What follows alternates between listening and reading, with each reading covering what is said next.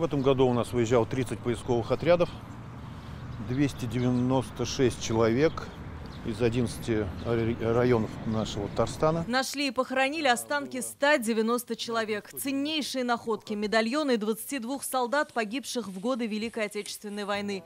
Восемь уже удалось прочитать. Таков результат весенних поисковых экспедиций, рассказывает Александр Коноплев. Он и сам поисковик с 37-летним стажем. За это время нашел останки более тысячи солдат. Они были пропавшими без вести.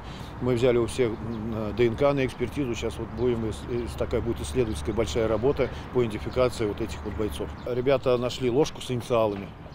То есть они по донесению смотрят, ну, возможно, вот этот, этот человек подходит, надо сделать экспертизу, ищутся родственники, делать экспертиза.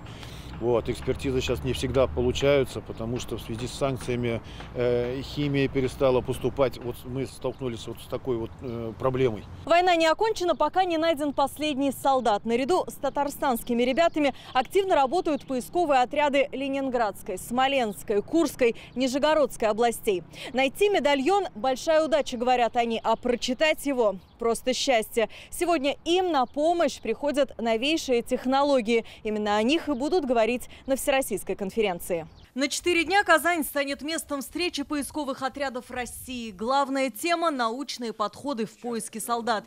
Важно не просто найти, говорят специалисты, поднять тело, соблюдая анатомические и археологические правила, воссоздать фото солдата по останкам черепа, прочитать почти утраченный текст, найти родственников по анализу ДНК. Ульяновский поисковик передал, что нашли останки солдата, и при нем был кошелек. В этом кошельке бумаги. Видел, что это справка, выданная Казанским госпиталем Тимиргалиеву Зигангарею из Кукмарского района из деревни Кошкина. И таких счастливых находок немало. В дни конференции поисковики передадут медальоны двух бойцов их семьям. Теперь из списка без вести пропавших вычеркнуты имена красноармейцев Александра Меньшова из Мензелинска и Зарифулы Бекмуллина из Камского устья. Еще одним знаковым событием станет выставка «Небо Родины». Представлены фрагменты самолетов, например, э, П-2, которые мы доставали с 20-метровой глубины с острова Средне, э, с озера Средневаинское под Мурманском тоже.